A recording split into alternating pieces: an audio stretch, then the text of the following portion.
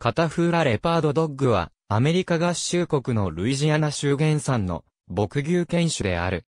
単に、レパードドッグとも呼ばれることもあるが、レパードツリードッグとはまた別の犬種であるため注意が必要である。また、ブルーレーシーという牧牛犬種の基礎も築いた。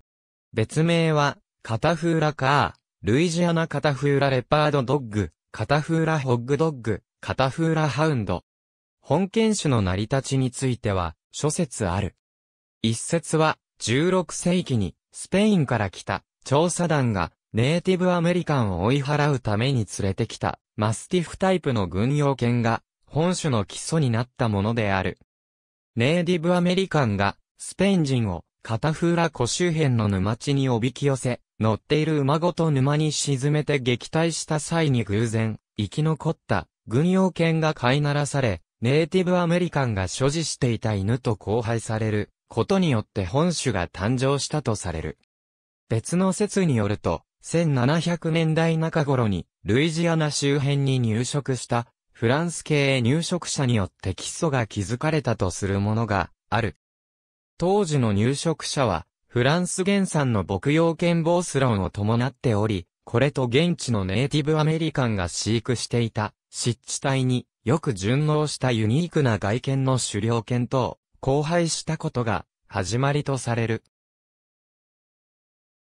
こうして生まれた当時の犬たちは非常に柔軟な性質を備えており、牧畜の手伝いから狩猟まで多岐にわたる役割を担った。1800年代に入ると、原産地において犬種はますます人気を得、上記の役割に加え置き家庭犬としての側面が強調された。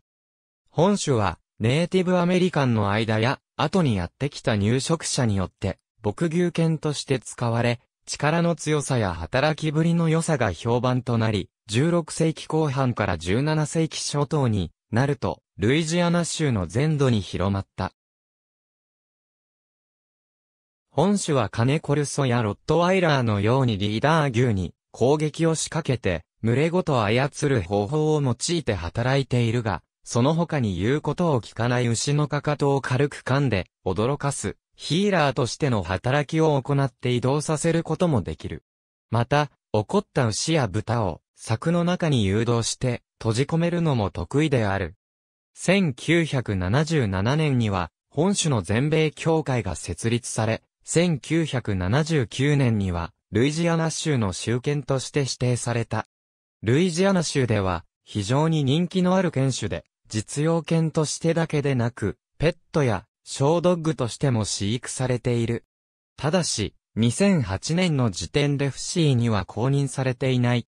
よく本種と混同される、レパードツリードッグと比べるとがっしりした筋肉質の体つきで力強く、気質も全く異なる。